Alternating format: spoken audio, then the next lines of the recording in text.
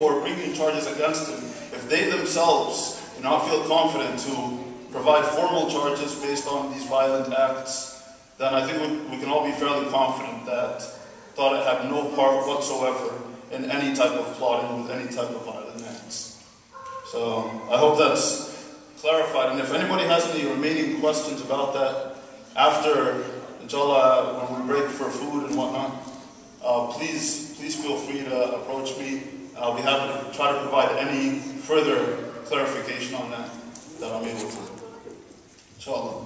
Uh. I'm going to introduce my father right now. He's going to provide uh, some updates for what's currently going on with Tarek right now, and plus some additional comments. So, my father, Ahmed Mehanna.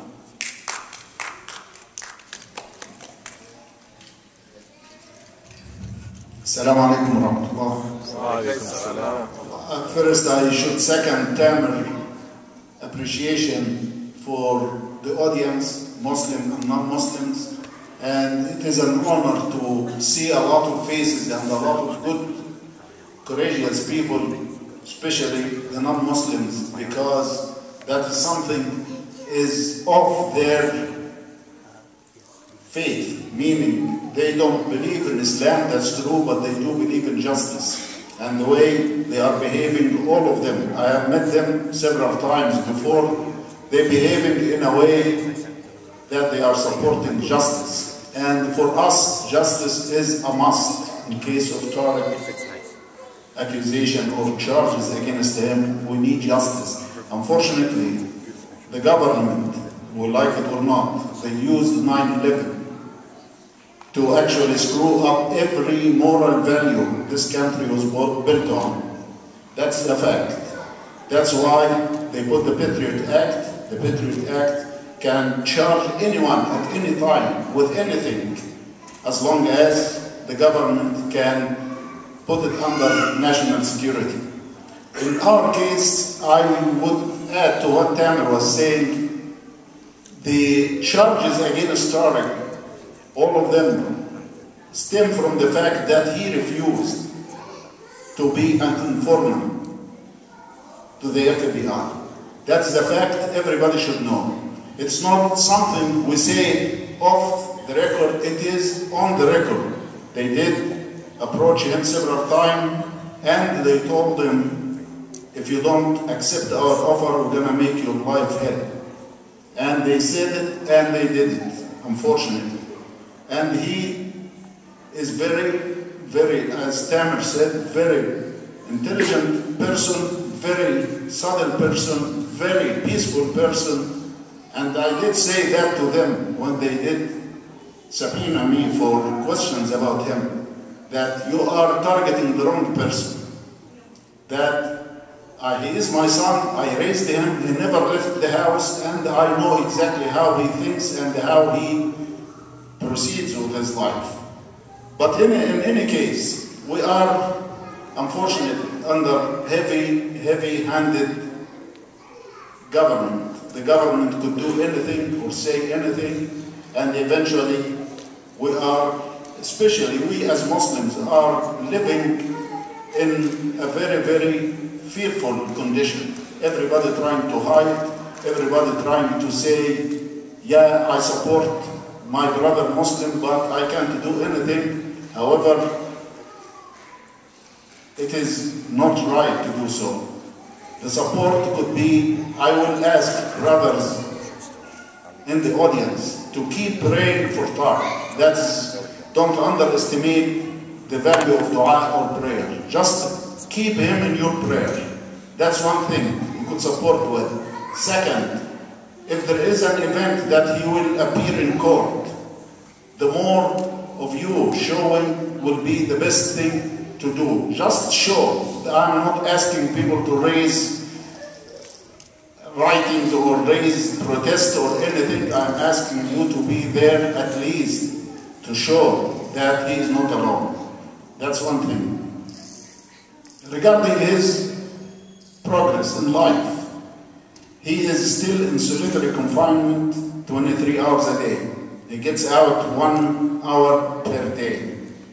And during that one hour, he runs, exercise in a cage, imagine, and he take a shower and he call me every day, me and his mother, of course, and his brother, every day. That's his daily life. What I am doing, and I believe, inshallah, it is working and it will work, that we're keeping him busy. He is studying for his board, professional board, at this point. We send him the books and he's studying. He's studying Sunnah and the Quran. And he is reading and writing to the point that he is telling me that he doesn't have time to think about anything else. So he is full with all the good things that he actually can keep himself away from the thinking of the injustice condition that he is in under. Yeah, imagine that for nine months, this is the ninth month, you're sitting 23 hours a day facing the wall. Imagine that. And everybody forget, and everybody just say, it will go, but not for him, not for me at least. It is, I'm living with him every second he lives. To the point that, believe it or not, I have not smiled for those nine months he been incarcerated during. Not for a single time. I can't even live my normal life. But he's my son, and I know that he has done nothing. I want to update you also on the last week or last couple of weeks. They did file two charges, new two charges.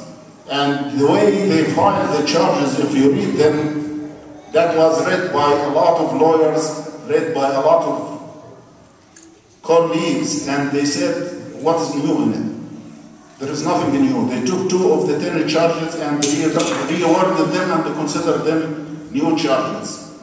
But eventually, it is something they want to extend his stay in prison regardless he is guilty or not guilty. They want to extend it, that's why they filed those charges.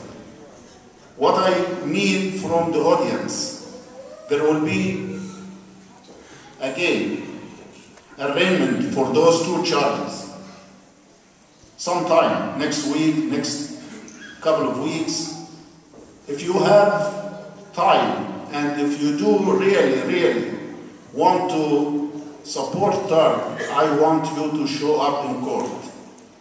How do you know? We'll put it in the website and we'll inform the mosque and everybody. If he or she has time, that would be a great help for time. Because that is from our experience, the judge, we have a new judge now. The case is in the hands of judge called Judge O'Toole. He's no longer with the magistrate who put him in jail without any reason. The new judge has to see that there are supporters of Rutar. Regardless, he will say guilty or non guilty, that's not the point. The new judge, and that was a very positive point when they arrested Tarek for the first time in the courthouse. The prosecutor was waving and saying, he has a followers. He has followers. Joking. Then the judge was, but he was brave by that time. He told them that should count for him, not against him. And everybody broke and laughed in the courtroom. Court, yeah, it, it is in the room.